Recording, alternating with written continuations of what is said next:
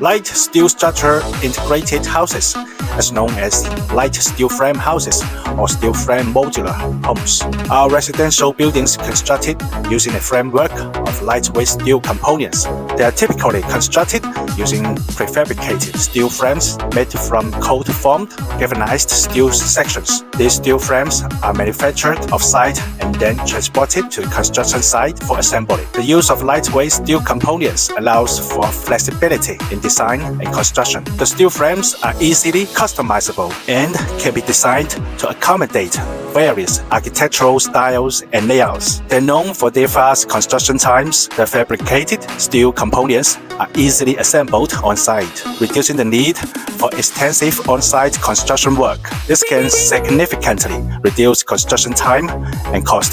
Steel is a durable and strong building material that can withstand extreme weather conditions and seismic activity. They have excellent structural integrity and can provide long-lasting performance. These houses can be designed to incorporate insulation material to improve energy efficiency and reduce heating and cooling cost. The lightweight steel frames also allow for efficient installation of electrical and plumbing systems.